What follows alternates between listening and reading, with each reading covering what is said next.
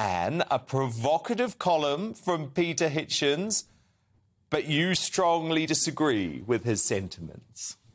Well, look, I've got a lot of time for Peter Hitchens. He wages a wonderful war against drugs. He's one of the very few journalists uh, who do, uh, and I'm always grateful uh, for that. But I have to say that if this isn't a tongue in cheek article, then I think he's lost his marbles. It's not. Uh, he's deadly serious, Anne.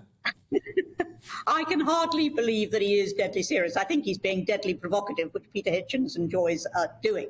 But I mean, the idea that there would be any United Kingdom at all if England withdrew uh, which is very much the major part of the United Kingdom, um, I think is very far fetched. You've got to ask what would happen. You know, would Wales and Scotland still, and Northern Ireland still be a United Kingdom? Well, I think the answer is no. So he's not talking about England leaving the United Kingdom. He's talking about doing away with the United Kingdom, but doesn't quite want to say that. Uh, so uh, I think this is just a lot of nonsense. I really do. Why do you think the Scots voted against independence? Because they knew they couldn't do without us. Do you think there need to be more voices, Anne, like Peter today, though, standing up for England?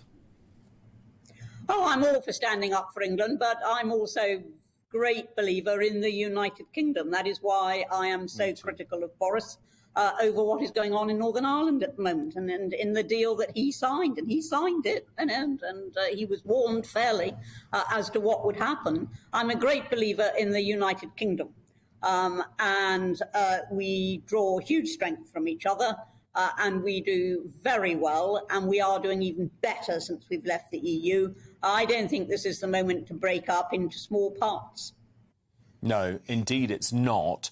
I guess, and those, a lot of people in England start to get fed up when we get the constant abuse from the SNP, from Sturgeon, from Plaid Cymru, from Sinn Féin, uh, when we know how much we bankroll the economy of those nations. And of course, we want them to remain part of the United Kingdom, but there's a certain lack of gratitude coming from the nationalist parties, and to say the least to say the very least. There is, and I don't blame anybody for being fed up with it. I'm deeply fed up with it. You know, the idea, you know, that, that Scotland, uh, the SNP abuses us, but they can't actually do without us, and they know that deep down. They really do actually know it.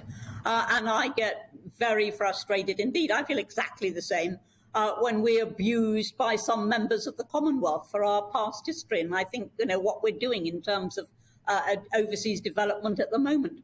Uh, so yes, I do get uh, very cross about that, and, and, I don't blame Peter for getting very cross about that. But the, the solution, for heaven's sake, um, is is not just to break up the entire thing. I don't believe for one moment that Peter thinks it is.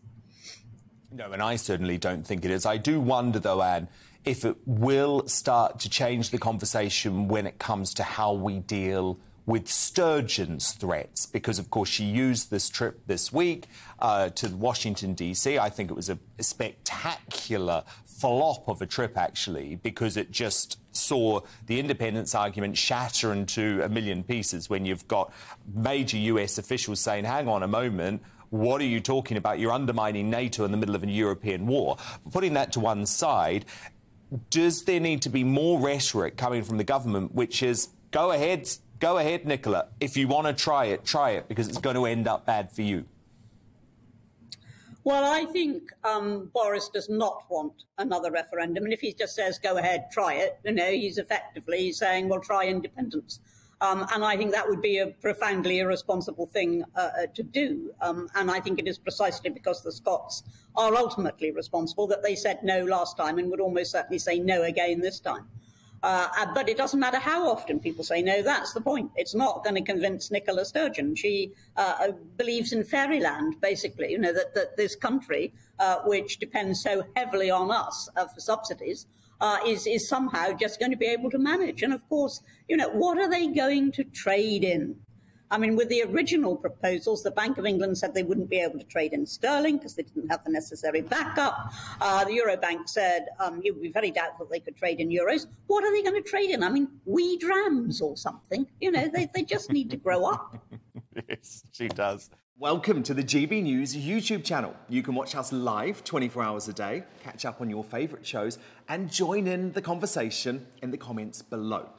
Don't forget to subscribe and you'll never miss any of our exclusive content.